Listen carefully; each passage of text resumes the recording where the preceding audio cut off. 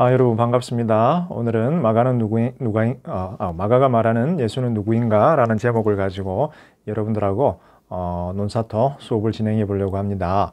자, 먼저 지난 시간에 교수님이 이야기를 했지만 어, 복음서의 저자들 중에서 마태, 마가, 누가, 요한 중에서 가장 먼저 쓰여진 복음서가 마가복음이다. 그래서 한 어, 기원 후 70년, 67년에서 70년경 정도에 쓰여졌다라고 이야기를 했습니다. 그리고 마가라는 사람은 어, 사도행전에 나오는 요한 마가, 즉 바나바의 사촌으로서 바울과 함께 선교 여행을 갔다가 중간에 이제 어, 선교 여행을 그만두고 다른 곳에서 사역을 하다가 어, 아마 안디옥 교회에서 있다가 로마로 가지 않았을까. 그리고 로마로 가서 어, 베드로의 어떤 통역, 통역으로 어, 자기 사역을 이어나가지 않았을까 생각을 합니다. 어, 그리고 어, 마가는 예수님에 관한 이야기를 마가는 예수님의 열두 제자들 중에 하나가 아니었기 때문에 예수님을 직접적으로 따라다니면서 사역을 배우지를 못했습니다. 그래서 마가는 예수님에 관한 가르침 사역에 대한 정보를 베드로로부터 아마 전해 들었을 가능성이 굉장히 높습니다. 자, 그러면 마가가 이제 복음서를 쓰는데 복음서라고 하는 것은 복음, 복된 소식, 서니까 책, 복된 소식을 담고 있는 책이라는 이야기지요. 그러면 마가의 관점에서 볼 때 초대교회 성도들은 예수님의 제자들은 그리고 세상 사람들에게 가장 복된 소식은 무엇이었을까요? 예. 하나님이 예수 그리스도를 이 땅에 보내주셨다라는 거죠. 즉, 이 땅에 예수 그리스도가 하나님의 아들로서 그 모습을 어, 드러내셔서 어, 인간을 위해서 무언가를 해주셨다라는 거죠. 그래서 복음서는 어, 예수 그리스도가 이 땅에 왔다라는 것이 복된 소식이 된다, 인류에게. 어, 그러므로 예수님에 관한 이야기를 담고 있는 책이다라고 우리가 할 수 있습니다. 자, 그럼 여러분 한번 생각을 해보세요. think, 머리를 한번 써보셔서 여러분들에게 어, 책이 주어졌어요. 종이가 주어지고 펜이 주어졌어요. 그리고 나서 예수님에 관해서 네가 하고 싶은 말을 써봐. 어? 네가 믿는 예수님, 네가 좋아하는 예수님에 대해서 뭔가 하고 싶은 말을 한번 써봐라고 한다면 여러분 어디서 시작하실래요? 어디서부터 시작을 해서 어떤 방식으로 어떻게 묘사를 하실래요?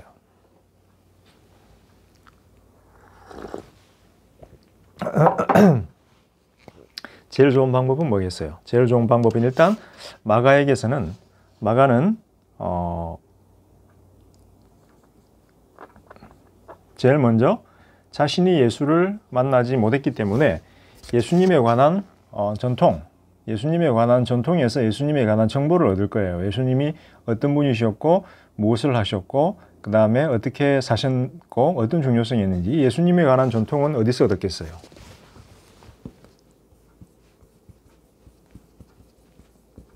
예, 제자들한테 얻었겠죠. 그죠? 제자들.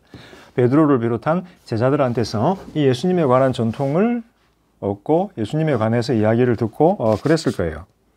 자, 그런데 어, 단순히 예수님은 이런 사람이야 라고 여러분들이 복음서를 보면서 예수님은 이런 일을 했고 이런 분이야 라고 이야기를 하는 것은 뭔가 좀 부족해요. 복음서를 잘 읽어보면 여러분들이 뭘 보게 되냐면 구약 성경을 많이 인용을 하는 걸 보게 돼요. 그래서 예수님이 어떤 이야기를 하면 구약 성경에 있는 이런 것들을 성시하기 위하여. 그 다음에 또 예수님이 어떤 행동을 하면 구약 성경에 기록된 이런 것들을 성시하기 위하여. 그 다음에 예수님이 십자가에 달려 죽으신 것도 구약 성경에 기록된 예수님에 관한 예언을 성취하기 위하여. 즉, 그 당시에 성도들에게는 성경이 있었는데 성경은 뭔가요? 하나님의 계획과 뜻을 담고 있는 어, 말씀이에요. 즉, 구약 성경은 옛날에 주어졌던 하나님의 어, 약속을 담고 있어요. 이 약속의 가장 중요한 이 약속들 중에서 가장 중요한 약속은 무엇이었을까요? 예, 구약 성경에서 가장 중요한 약속은 어, 하나님의 아들 메시아가 나중에 구원자로서 온다라고 하는 사실이에요. 그래서 어, 마가는 자신의 복음서를 예수님에 관한 이야기를 쓸 때에 어, 제자들로부터 받은 예수 전통을 자료로 쓰지만 또 한편으로는 구약 성경을 자신의 자료로 써요. 구약 성경. 그래서 구약 성경 그리고 어, 이 구약 성경과 연관된 유대인들의 전통에 대해서도 어, 어, 마가는 참고를 하게 돼요. 왜냐하면 구약 성경은 아주 오래전에 쓰여졌지만 유대인들이 그냥 구약 성경만 읽은 것이 아니라 읽으면서 자기들의 감동, 느낌, 해석 뭐 이런 것들을 많이 그 안에 담았어요. 그래서 어, 구약 성경이 존재하는 동시에 구약 성경에 대한 해석 전통이 존재하게 돼요. 구약 성경이 다양하게 유대인들의 해석되기 때문에 이 해석 전통이 존재해요. 여러분이 마치 신약 성경이 있지만 여러분들이 신약 성경을 읽을 때 그냥 읽는 것이 아니라 다양한 가르침들, 교회의 전제들, 여러분이 들었던 해석들 이런 여러 가지 해석 전통을 통해서 여러분들이 어, 신약 성경을 이해하는 것과 마찬가지예요.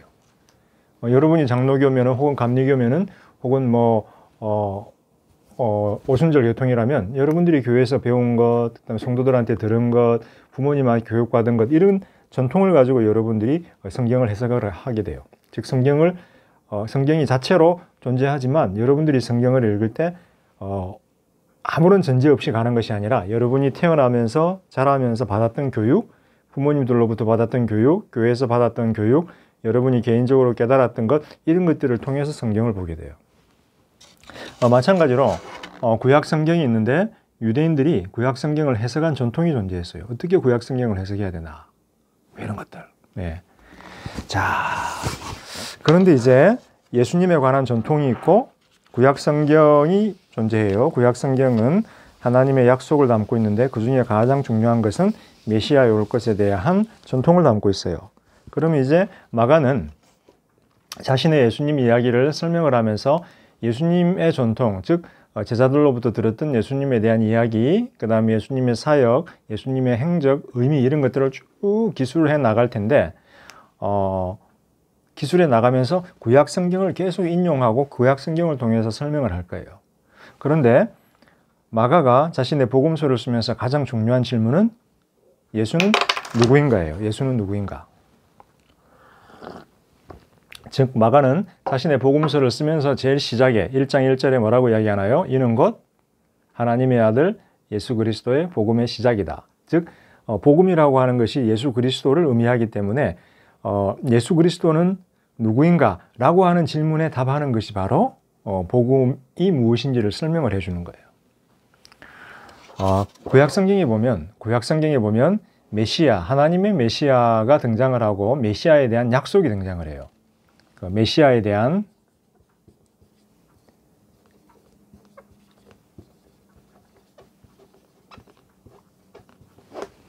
네, 메시아에 대한 약속이 존재하게 돼요.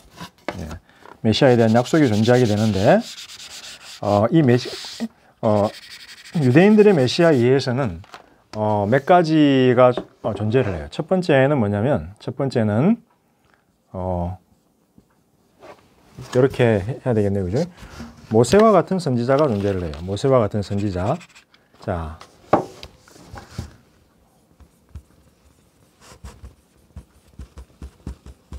이스라엘 사람들의 역사에서 가장 중요한 인물은 아마 모세였을 거예요.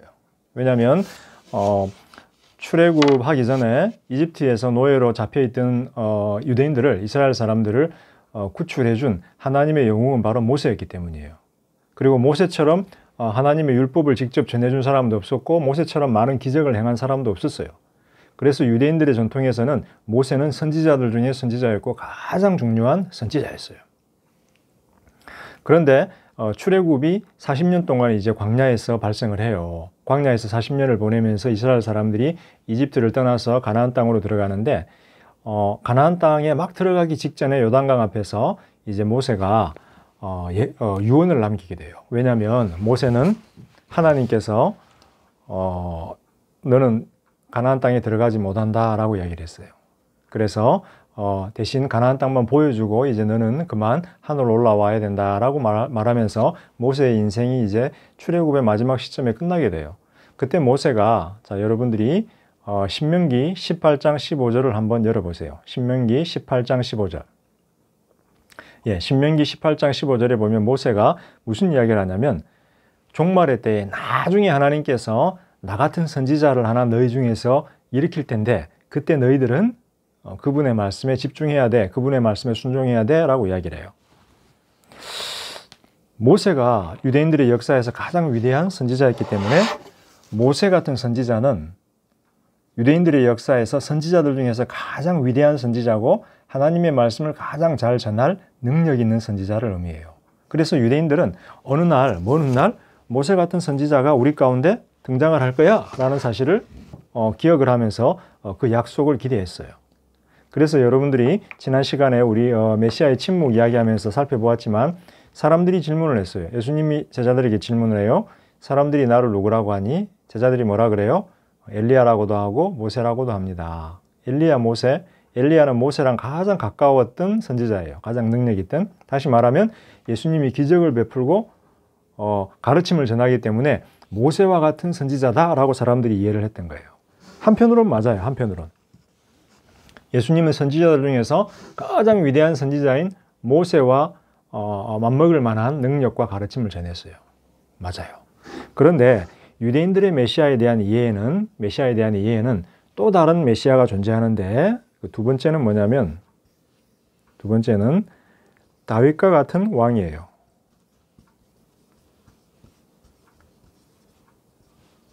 다윗과 같은 왕. 그래서 그리스도, 그리스도, 기름 부음을 받은 사람이라는 뜻이에요. 다윗과 같은 왕. 자, 그리스도는 그리스도 기름 부음을 받은 사람이라는 뜻인데 두 번째 메시아의 존재로는 다윗과 같은 왕이 존재를, 어, 존재를 해요. 메시아에 대한 기대로서 자 이거를 설명을 먼저 해드리자면 어, 이스라엘의 첫 번째 왕은 사울 왕이었어요. 근데 사울 왕은 하나님의 마음이 협조하지 않았기 때문에 사울 왕은 폐위를 당하게 되고 하나님께서 어, 사무엘 선지자를 통해서 다윗을 선택을 하고 다윗을 기름을 부어요. 기름을 이렇게 머리에 부어요.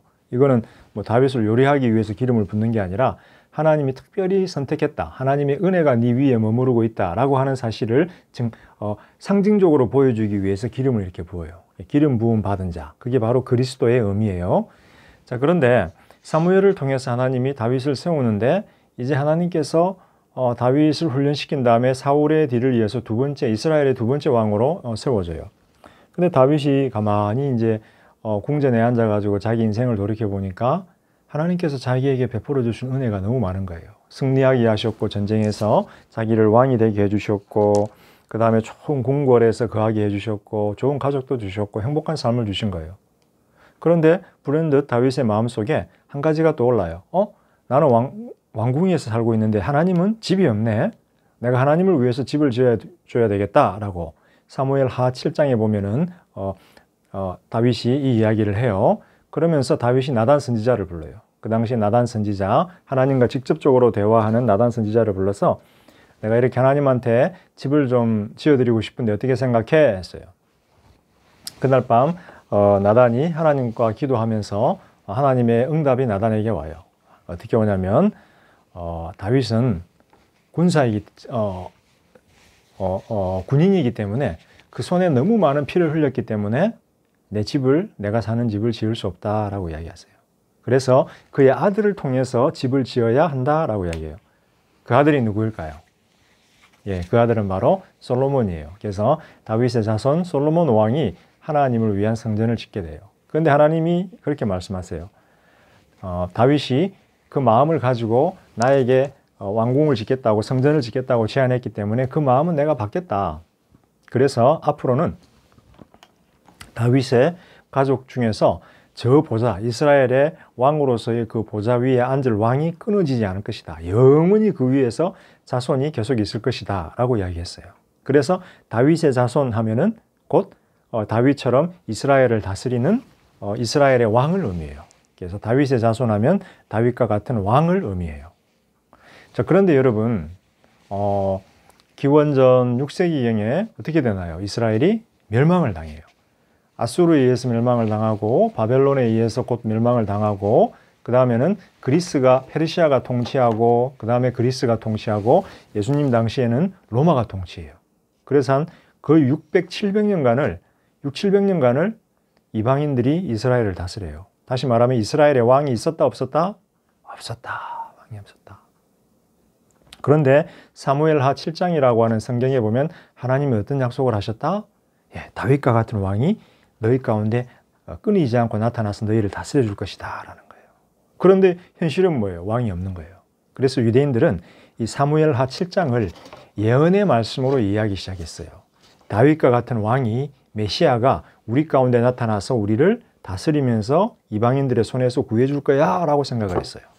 그래서 어, 다윗과 같은 왕, 다윗과 같은 왕, 즉 그리스도는 단순히 다윗의 자손이 아니라 다윗의 자손 중에서 영원한 왕이 되어서 우리를 이방인들의 손에서 구해줄 뿐 이렇게 이해가 됐어요. 자, 그래서 예수님이 어느 날 길을 가고 있는데 안전뱅이가 뭐라고 불러요? 다윗의 자손이여 나를 나를 불쌍히 여겨 주소서. 다윗의 자손이요. 무슨 말이에요? 당신이 바로 다윗과 같은 왕, 다윗의 자손 메시아입니다. 라는 고백이에요. 신앙의 고백인 거예요. 그 다음에 지난 시간에 우리가 어, 그 메시아의 침묵에 대한 이야기를 했는데 베드로의 고백이 뭐였어요? 당신은 누구다? 그리스도다. 그리스도. 기름 부음 받은 자. 즉 다윗과 같은 왕이다. 라고 하는 고백을 그리스도의 고백을 통해서 했어요. 근데 예수님이 뭐라고 이야기해요? 그 사실을 알리지 말라. 왜? 여러 가지 이유가 있지만 그 이유 중에 하나는 다윗과 같은 왕을 통해서 유대인들은 로마로부터 자신들을 건져줄 전쟁에서 승리할 왕, 군인과 같은 왕을 기대를 한 거예요. 예수님이 전쟁을 일으켜서 로마인들을 어, 패배시키고 자신들을 로마인들의 손에서 구해줄 거야 라고 유대인들은 어, 생각할 수 있었다라는 거예요. 근데 예수님은 뭐예요? 예수님이 구해줄 어, 패배시킬 적은 로마인들이 아니라 로마인들 위에 있는 악한 영역들이었고 악한 권세들이었고 죄였어요. 그래서 예수님은 죽음으로써 십자가에 죽고 부활함으로써 악한 권세들을 무찌르고 유대인들과 이스라엘 사람들과 이방인들을 구원해 줄 메시아였던 거예요. 그래서 유대인들이 생각하는 메시아랑 예수님이 생각하는 메시아의 개념이 달랐기 때문에 아마 어, 이 사실을 알리지 마라고 했을 가능성도 있어요. 자, 그 다음에 그 다음에 어, 세 번째 메시아의 개념이 있어요. 세 번째 메시아의 개념이 있는데 유대인들의 관점에서 그거는 뭐냐면 어, 세 번째 메시아의 개념은 어, priest. priest니까 뭔가요? 어, priest. priest니까 어, 성전에서 그 뭐죠? 어, 제사장, 제사장, 제사장, 제사장. 자, 제사장. 어, 자, 왜 제사장이 메시아로 기억이 될까? 왕이 없는 이스라엘에서 제일 중요한 장소는 무엇이었을까요? 예, 왕이 존재하지 않는 이스라엘에서 가장 중요한 영적인 지도자는 어, 제사장이었어요. 대제사장. 왜냐하면 어, 하나님의 성전이 이스라엘 종교의 중심에 있기 때문에 대제사장은 성전을 다스리고 치리하고 성전에 관련된 모든 어, 업무들을 총괄하는 분이었어요.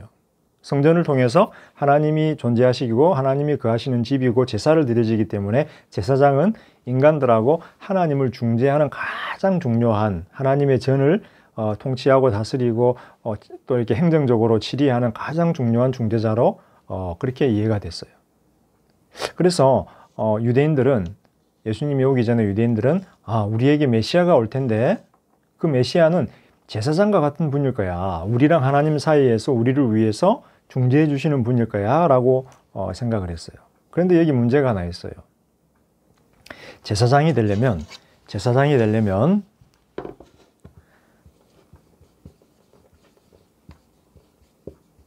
어, 아론의 자손이어야만 했어요. 제사장은.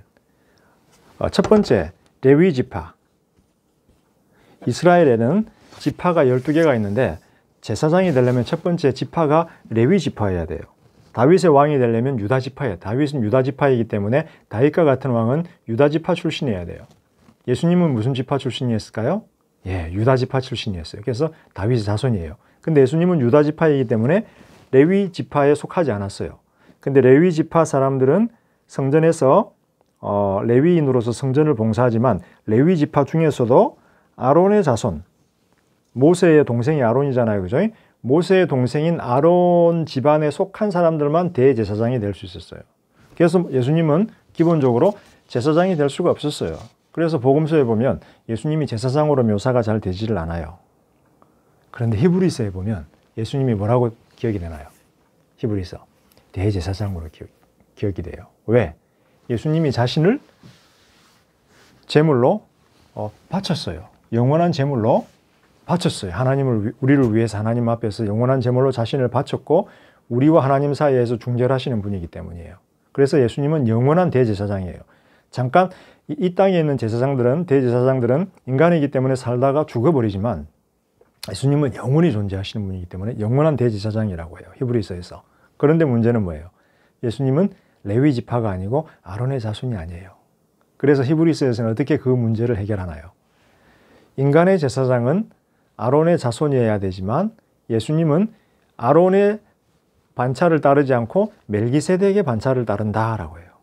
인간의 제사장들은 아론의 반차를 따라서 인간적인 대제사장이 되지만 예수님은 멜기세덱의 반차를 따라서 영원한 대제사장이 된다는 거예요. 그리고 이 땅에 있는 인간의 제사장은 이 땅의 성전에서 제사장이 되지만 예수님은 하늘에 있는 영원한 성전의 영원한 제사장이라는 거예요. 그러면 여기 멜기세덱은 누굴까요? 멜기세덱. 아론은 우리가 아는데 모세의 동생 멜기세덱은 누굴까요? 멜기세덱은 성경에서 딱 두 번 등장을 해요. 어, 창세기에서 한번 등장하고 시편 110편에서 한번 등장을 하고 창세기에 보게 되면 아브라함이 아브라함 알죠? 아브라함 믿음의 조상 아브라함 아브라함의 어, 조카 롯이 어, 잡혀가요. 이방 왕들에게. 그래서 아브라함이 군사 120명을 이끌고 가서 어, 그 왕들에게서 롯을 되찾아와요.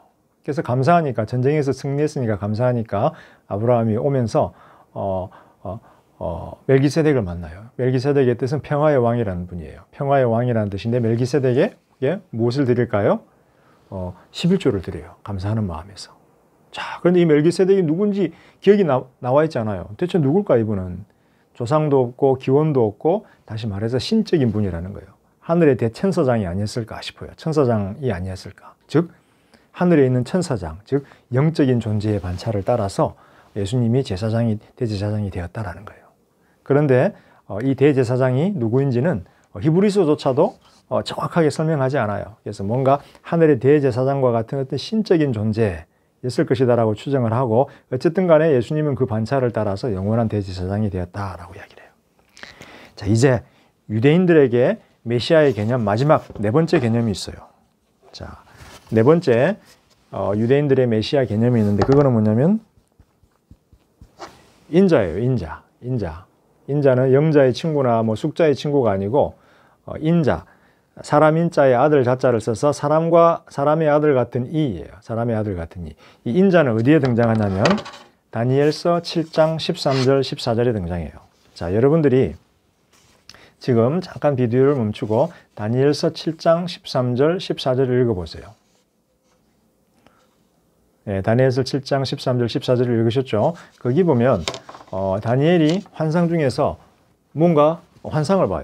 환상을 보는데 뭐가 보이냐면 하늘에서 구름을 타고 싹 어떤 분이 내려오는데 인자 같아요. 인자. 사람의 모습을 하신 인자 같은 분이 싹 내려와요. 근데 구름 타고 하늘에서 왔으니까 이분은 사람일까요? 사람이 아닐까요? 사람이 아니에요. 하늘로부터 온 존재예요. 근데 외모가 어떤 모습, 모양이다? 우리와 닮았어요. 인자, 사람의 모습을 했어요. 왜 그럴까? 예, 우리가 하나님의 형상으로 창조됐기 때문에. 우리가 가진 이 외모가 하나님의 형상을 따라 창조됐기 때문에 우리가 하나님을 보고 신적인 존재를 보면 우리 같은 인간의 외모를 보는 거예요. 그런데 이 인자가 아주 오래된 이, 아주 오래된 분 앞에 가서 어, 그분 앞에서 영광과 보좌와 능력을 받아요. 이 가장 오래된 분, 이분 누굴까요? 하나님이에요, 하나님. 하나님한테서 이 인자가, 하늘로부터 온 인자가 영광과 능력을 받고 이스라엘을 구출하고 이스라엘의 어, 적들을 다 처단해 버려요. 그래서 이 인자는 유대인들의 사상에서 이 네 번째 메시아인 인자는 심판관으로 등장해요. 우주적인 심판관, 종말론적인 심판관으로 등장해서 우주를 통치하고 다스리고 심판해서 어, 멸망하기도 하고 살리기도 하는 거예요. 그런데 재밌는 것이 있어요. 이 네 명의 메시아들 중에서 모세 같은 선지자, 사람일까요? 신일까요? 신적인 존재일까요? 사람과 같은 존재예요. 다윗의 왕과 같은 메시아, 사람일까요? 신일까요? 사람이에요. 제사장, 사람이에요. 인자는 사람이 아니고 신적인 존재예요. 그래서 유일하게 유대인들의 메시아적 개념에서 인자는 어, 신적인 존재로 등장을 해요. 그래서 우리 지난 시간에 읽었던 본문에 보면 뭐라고 해요? 예수님께서 인자가 영광을 어, 구름을 타고 아버지의 영광 중에 오실 때에 내가 믿음을 볼 수 있겠느냐? 내가 너희를 뭐 한다? 너희의 행위를 따라서 내가 너희를 심판한다 라고 하는 거예요. 8장 33절에서 38절 어, 마가복음. 예. 그래서 예수님이 그 짧은 본문 지난 시간에 우리 읽었던 마가복음 33절에서 38절에 보면 어, 선지자, 선지자와 같은 메시아도 등장하고 그리스도, 다윗과 같은 메시아도 등장하고 제사장은 등장해요 안 해요? 안 하고 네 번째 인자가 등장을 해요. 근데 예수님이 자기를 메시, 어, 선지자로 받아들이는 것에 대해서는 조금 별로 어, 만족스럽지가 않아요. 그리스도, 다윗과 같은 왕 어, 괜찮아요. 괜찮은데 자기는 전쟁할 뿐이 아니라 어, 고난을 통해서 구원할 뿐이다.